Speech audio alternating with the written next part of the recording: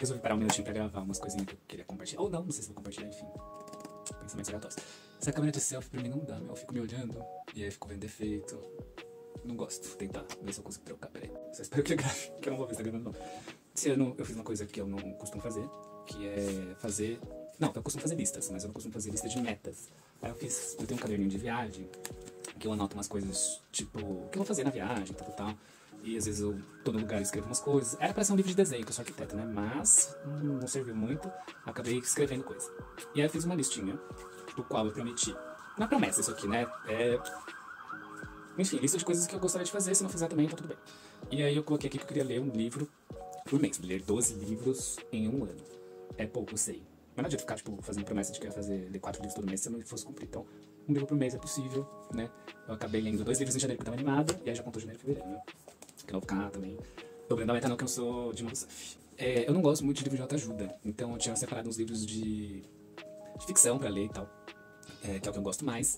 E eu tinha acabado, e um amigo tava em viagem, tinha acabado de ler o livro que eu tava lendo, aí um amigo emprestou esse aqui, que chama O Sentido da Vida desse cara aqui. É, eu não costumo gostar de livro de autoajuda, livro que fala sobre teses, etc. E não gostei desse também.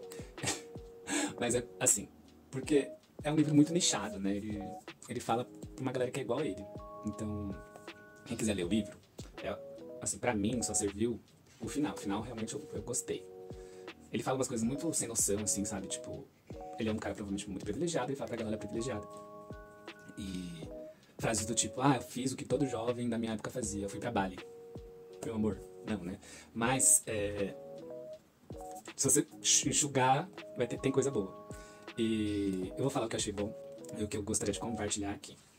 Enfim, nessa história que eu tô de, de ficar pensando sobre a vida e fazer terapia, eu tô na terapia faz dois anos, então é, tenho repensado muitas coisas e tal, tal, tal. É, eu não tenho tido uma relação muito saudável com rede social, né? Eu tenho usado muita rede social naquele scroll, né? Então eu fico horas, horas vendo vídeo, vídeo, vídeo, vídeo, vídeo, vídeo. O que tem me deixado meio estressado, é, no sentido de me sentir inútil, assim. E às vezes eu quero ser inútil, às vezes eu quero não fazer nada, às vezes eu quero ficar horas vendo vídeo de besteira assim. Mas ao mesmo tempo não, sabe? É uma coisa meio, sei lá, a gente é muito complicado, né? Mas eu já, já fiz coisa do tipo de ficar, sei lá, 20 minutos na porta assim que eu cheguei em casa, é, vendo vídeo e nem tirei a mochila das costas, entendeu? Coisas de uma pessoa que tá entrando ali no, num uso não muito saudável da rede social. Então, assim, é, eu tô fazendo isso aqui também para tentar um pouco. Quando eu falo sozinho, né? Que eu faço muito isso porque eu moro sozinho, quem mora sozinho sabe que a gente fala sozinho. É muito bom tal, mas não é a mesma coisa do que você falar em, em voz alta, realmente falando sobre aquilo que você quer falar. Me ajuda muito falar em voz alta, né? A gente vai envelhecendo, realmente isso tem acontecido, eu tô aí nessa, nessa fase da vida em que é, a quantidade de amigos que você tem diminui muito, né? Porque, enfim, várias coisas que você não tá mais afim, não admite mais, é, vai, vai diminuindo, assim, realmente a quantidade. É, o que também é bom e ruim, é bom, mas te deixa um pouquinho mais é, ausente desses papos que você vai ter para entender um pouquinho mais é, do sentido das coisas, enfim, devagações, devagações diversas. Mas aí eu vou pegar um pedaço aqui que eu achei interessantíssimo, que ele fala um pouquinho, eu não sei se eu estou falando as coisas corretas, mas eu estou falando aquilo que eu entendi, tá?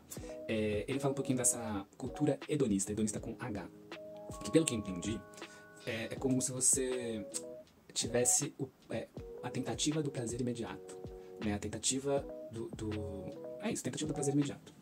E às vezes a gente tende a achar que nós estamos numa cultura hedonista, que nós queremos o prazer imediato. Mas ele, ele lança um questionamento, assim, que eu achei bem interessante, que na verdade a gente não é hedonista. Porque a gente está tão distraído nas coisas que não tem como a gente ser hedonista. É, não tem como a gente estar tá querendo prazer imediato se a gente não vivencia o prazer em toda a sua em toda a sua essência, né? É, esse nem é o, o, fator principal dele, isso é uma devagação dele dentro do tema principal. O tema principal dele, que é o nome do livro é O Sentido da Vida, é que a vida, interessante, esse acho que é um resumo geral do livro. Assim, uma vida com altos e baixos, ela é mais interessante do que uma vida feliz e plena e maravilhosa. Né? Não é nem tanto altos e baixos, mas acho que a palavra que ele usa é essa. A vida é interessante, ela tem mais valor do que uma vida plena. E eu tento concordar muito com isso, assim. É, vou ficar aqui devagando sobre isso.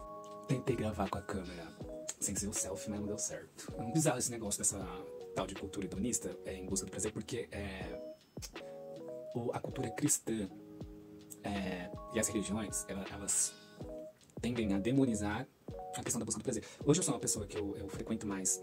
Já fui cristão, é, no sentido, já fui evangélico e tal. E hoje eu sou, me considero mais espírita. Mas tem muita similaridade, apesar de, enfim, é, parecerem inimigos uma coisa da outra ali, mas tem muita similaridade entre, eu posso dizer isso porque eu frequentei as duas, né? É, similaridade, simil, similaridade entre um e outro, que é essa coisa de demonizar a busca do prazer, né? É, quando eu falo prazer, eu tô falando, tipo, tô falando de práticas sexuais, não tô falando nada disso. Tô falando em relação à busca do, do, do vivenciar o prazer mesmo. Tipo, o prazer da comida, o prazer do trabalho, o prazer de, de fazer as coisas, sabe? Tende a, a demonizar um pouco. É, a, é como se fosse assim, a felicidade. Basicamente isso, você demoniza um pouco, você está bem, porque tem tanta coisa ruim acontecendo que você está bem não é legal. É, tem muito da culpa, né? A jogar a culpa. Porque eu acho tudo muito esquisito, porque às vezes eu penso assim, se, se, se, se, Deus te deu o dom da vida, não foi à toa, né? É pra gente, pra gente viver, pra gente, né? É, ter, ter essa oportunidade, até na, na, na, questão do espiritismo, que ele vai falar assim, que é, você lá, no mundo espiritual, você é, é muito difícil ter a oportunidade de viver, né? Então por que, que eu vou, né?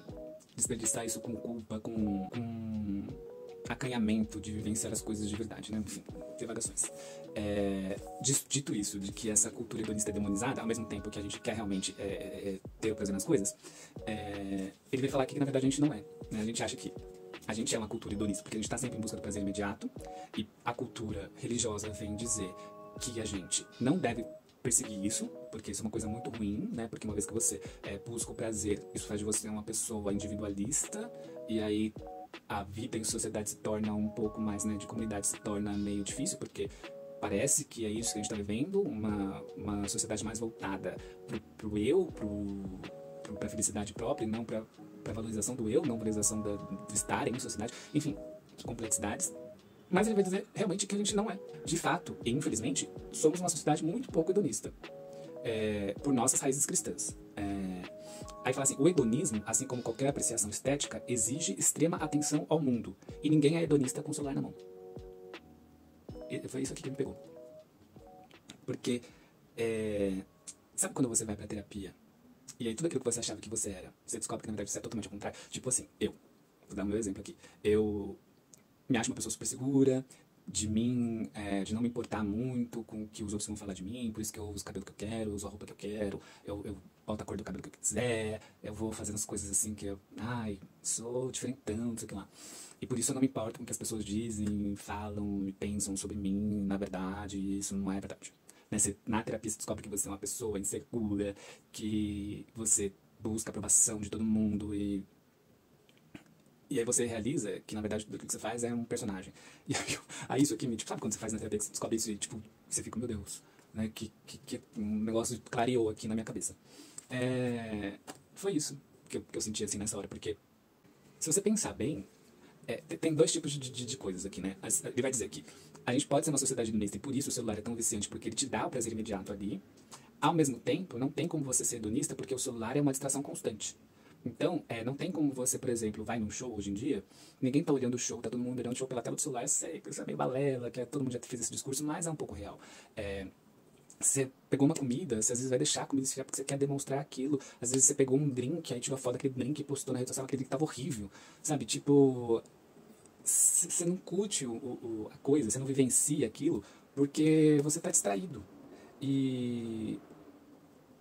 E você só distrai quando sua vida tá desinteressante. Porque a vida interessante não tem, não te deixa distração. Sabe quando você tá, tipo, num, num, num, encontro entre amigos que tá tão legal, tão bacana, que você quer tirar foto, que você esquece de filmar, de fazer stories, aí no final você vai lembrar, meu Deus, a gente esqueceu. É porque foi interessante. É porque não, não teve tempo para distração. Porque foi. Às vezes não foi nem bacana, mas foi interessante.